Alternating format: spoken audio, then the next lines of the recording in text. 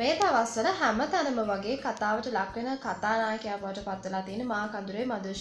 අපි ඊයේ දිනේදී ඔහු පිළිබඳව නවතම පුවත් එසනින් ඔබට ඉදිරිපත් කිරීමට අපිට හැකියාවක් ලැබුණා. ඊයේ දවස පුරාවටත් අපි ඔහු හා සම්බන්ධ වෙච්ච අලුත් තොරතුරු ගෙනීමට වග බලා ගත්තා. ඉතින් අද දිනේදීත් ඔහු හා සම්බන්ධ වෙච්ච තොරතුරු කිහිපයක් තියෙනවා ඔබ වෙත ගෙනීමට. මේ අමුතු වීඩියෝ අපි ලෑස්ති වෙන්නේ ඔහු පිළිබඳව අලුත්ම තොරතුරු සහ ඔහු වටා හිටිය පිරිස පිළිබඳව සිද්ධ වූ සිදුවීම් මොනවද කියන එක පිළිබඳව අලුත් තොරතුරු ඔබට ගෙනීමට මේ අමුතු වීඩියෝ අපි සූදානම් වෙන්නේ. මේ විදිහට මාකඳුරේ මදෝෂ් සමග අත්තරංගොට පත්වෙච්ච පිරිසක් පිළිබඳව අපි කතා බහට ලක් කරානේ මේ පිරිස අතර පාතාල ලෝකයේ තවත් ඉහලින් වැජමෙන එහෙම නැත්නම් ලොක්කෙක් විදිහට හඳුනන කෙනෙකුත් මෙතන හිටිය අය තමයි අංගොඩ ලොක්කා කියන අනුවර්ත නාමයෙන් හඳුනන ඔහුත් මෙතන හිටියා කියලා තමයි මේ වෙනකොට අනාවරණය කරගෙන තියෙන්නේ.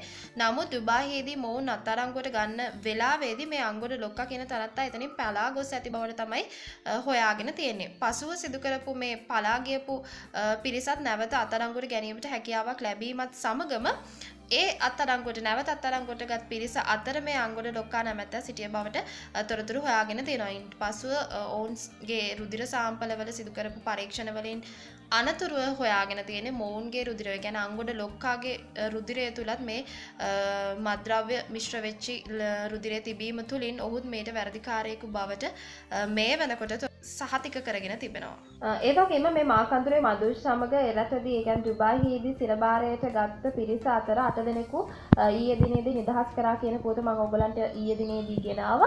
එතකොට අද වෙනකොට කියනවා මේ අට දෙනා අතර හිටිය අමල් පෙරේරාගේ පුතා වන නදිමල් පෙරේරා සහ මදුෂ්ගේ දෙවන බිරිඳ මේ වනකොට නිදහස් කොට තිබීම තමයි අලුත්ම පුවත විදිහට ඔබට ගෙනීමට දැනට තිබෙන්නේ.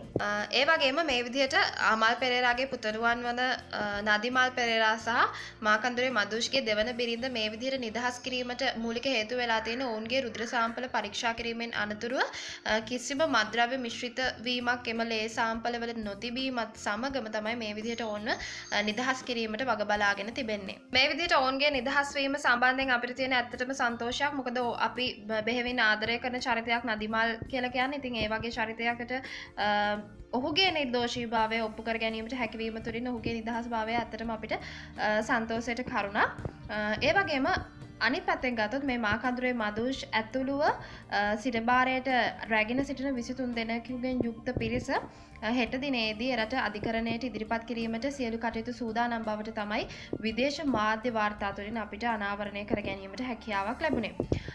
ඔන්න ඕක තමයි අද වනකොට මේ මාකදුරේ මදූෂ් ඇතුළුව ඔහු වටා සිටින පිරිස වටා තිබුණු කතාව සහ ඔවුන්ගේ ඔවුන්ට ඉදිරියේදී මොනවද වෙන්න කියන කාරණාව සම්බන්ධයෙන් තියෙන අලුත්ම පොත තමයි අපි ඔයාලට ගෙනාවේ ඉතින් ආයත් මේ වගේ වීඩියෝ එකක් අරගෙනීමේ බලාපොරොත්තු අපිට හැමදාම තියෙනවා. ඊට කලින් කියන්න ඔයාලා තාම අපේ channel එක subscribe කරේ නැත්නම් දැම්ම subscribe කරන්න. ඒ වගේම අපේ වීඩියෝස් අප්ලෝඩ් කරපු සැනින් අරබන්නට පහත සීනු සලකුණු සක්‍රිය කරන්නට අමතක කරන්නට එපා.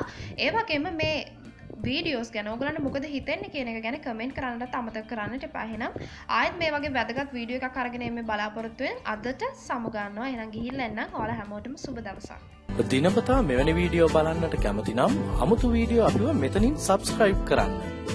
බෙල් අයිකන් එක මත ක්ලික් කර අපගේ වීඩියෝ මුලින්ම නරඹන්නටත් එකතු වන්න.